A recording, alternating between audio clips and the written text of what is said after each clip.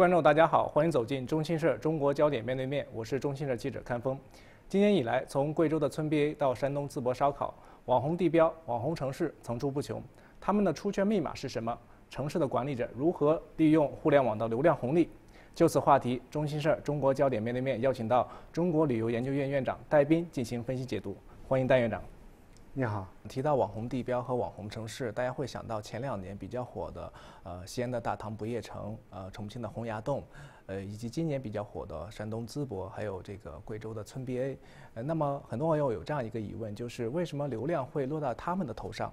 这些网红的城市，包括这个大理去有分的地方，还有江门的旧厂街。第一呢，它都有一个触发点，基本上你看网红的一个特质。全是比较接地气的，或者我们讲有人间烟火气的地方。第二点，它是和我们的老百姓的生活息息相关的。就我不太愿意做太高大上的东西，我可能我就接受不了。反而是什么呢？我们自己参与、自己演、自己去感受、体验的这样的一些场景啊，更愿意让我们去接受、去推动。第三个呢，往往它是借助于互联网，特别是自媒体、新兴媒体的传播。第四一个呢，就是地方政府有意为之，不管是我们这个淄博也好，还是蚌埠也好，你看都有很多志愿者，给当地的游、给外来的游客去送水啊，去维持秩序，所以这四个方面的因素，有偶发的，也有必然的。您刚才也提到一些网红城市的出圈的特质啊，那么与我们传统上认知的旅游城市相比，它们之间有哪些共性和差异？我们旅游业发展。你看，我们第一个阶段，我们不说，先不说入境旅游，说国内旅游。一九九九年国庆黄金周起来以后，随着我们国民大众的旅游就兴起了。那时候第一代旅游产品，我们去看什么？看世界文化遗产，看山山水水。所以那个那个年代的代表性的这个场景是什么呢？去五岳，去黄山，啊，我们去北京看故宫、爬长城，去桂林去看山水，去丽江看古城等等，是这样的一些地方。这是。第一阶段，到了现在，我们看旅游业进入大众旅游发展新阶段以后，越来越多的老百姓说：“我的行程我要做主。”就大家从大众的从众的心理转向一种小众的理性的消费。那么，过去那些带有教育意义的、带有高山仰止性的这些景区景点或者叫城市，依然是大众旅游的基本面。但是那些小众的、过去没有进入人们这个消费视野的一些城市，反而容易出圈。为什么？消费更加理性了，广大游客的个性、理性、自主、自助的消费的行为，可以让这些传统的城市之外的一些新兴的旅游目的地感觉出圈了。实际上背后还是一个消费模式的一个变化，是旅游市场变化的一个外在表现。那么现在很多人在分析淄博烧烤出圈的时候，会提到一个原因，那就是后疫情时期人们对于人间烟火的这种亲切感。呃，怎么去看待这种网红城市出圈它背后的这种社会心理因素呢？在过去我们出去旅游，我们看大山大水，看悠久灿烂的文化，现在依然还会有的。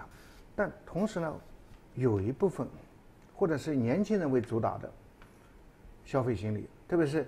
九零后甚至是九五后，我们叫新时代的这些年轻人，他们会追求从高大上转向小确幸。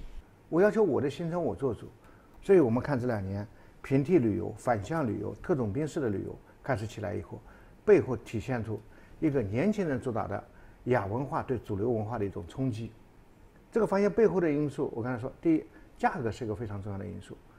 为什么会出现反向和平替旅游的现象？因为去的人太多了，价格自然会上涨。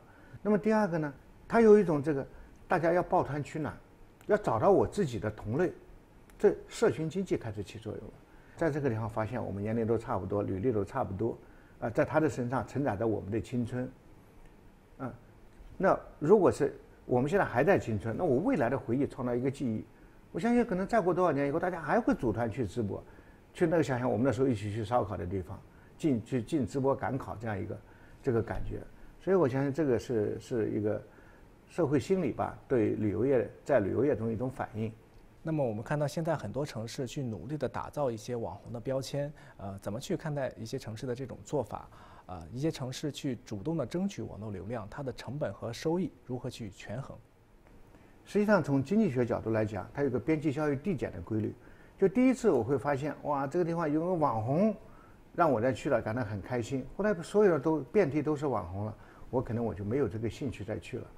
旅游需要网红，但网红不是旅游的全部。我们看一个地方好的旅游目的地，最终还回到它基本的逻辑上来。这个基本的逻辑是什么？你必须有高品质的生活方式，你必须有完善的商业接待环境，你必须有现代化的治理体系，那和治理能力，就是，现代化的高是低高水平的生活方式是什么呢？就现在的旅游经济的运行或者旅游目的地的选择。固然会选择不一样的地方，更多是选择你的生活水平比我高的地方。第二个呢，我去了以后，酒店、旅行社、民宿、度假区，各种各样的生活方式可以供我来去选择。更重要的是，一旦出了问题，我找谁？我的安全受到威胁，我的权益受到损害的时候，能不能有相应的司法救济和行政救济跟上啊？这都体现出一个城市的现代化管理水平。所以，我想这个是一个城市。能不能够成为一个长虹的旅游目的地的底层逻辑？所以我们不要经常会去说要找到这个网红变长虹、流量变油量的这样一个密码吗？那我想，与其去找密码，倒不如去找我们旅游目的地发育或者叫旅游经济运行的底层逻辑。那么今年以来，卷起来的文旅局长现象也受到大家的关注啊。那很多网友就建议了，与其市长局长卷起来，不如城市的服务卷起来。怎么去看待这样的现象？我注意到有些这个网红局长，不管是扮仙女也好，扮侠客也好，那都是为了推荐一个城市。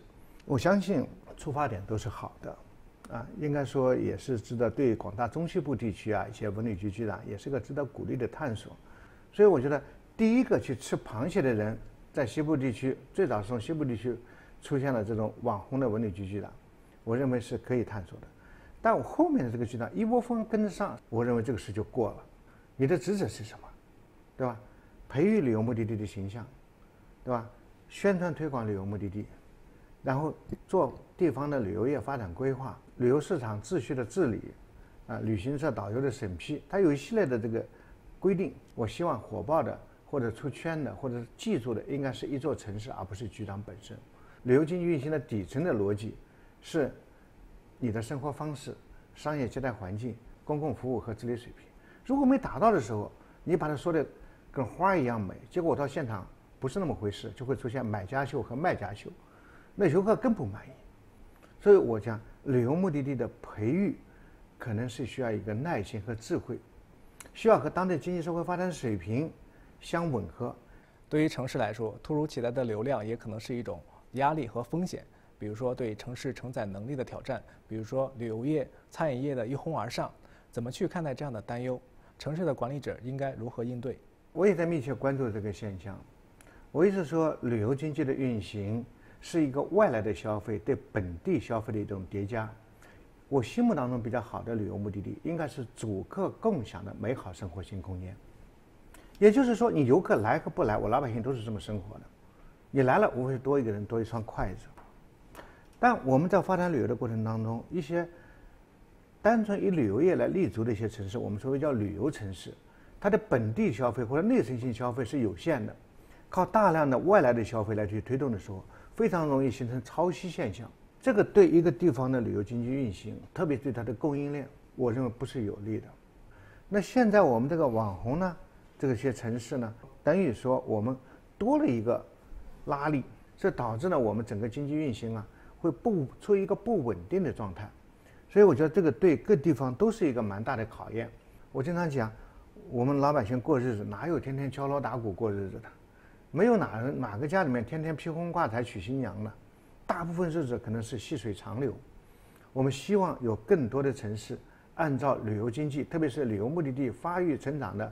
底层逻辑去走，走稳定的、可持续的，也许没有网红，但我是细水长流、静水深流的一个发展模式，才是我们要的健康的、可持续的旅游目的地发展模式。那么很多人觉得网红现象就是昙花一现，对于网红城市来说，当流量走了，他们怎么办？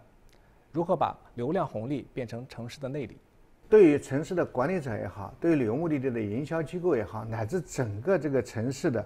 我们的旅游业，首先从心态上要去调整好。你要天天是网红，这个精力也吃不消啊，因为天天超负荷运转。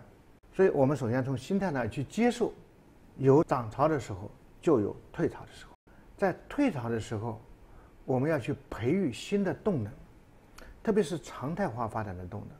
比如说我们很多网红城市，我们除了人间烟火气，要不要多培养一点殿堂的书香气啊？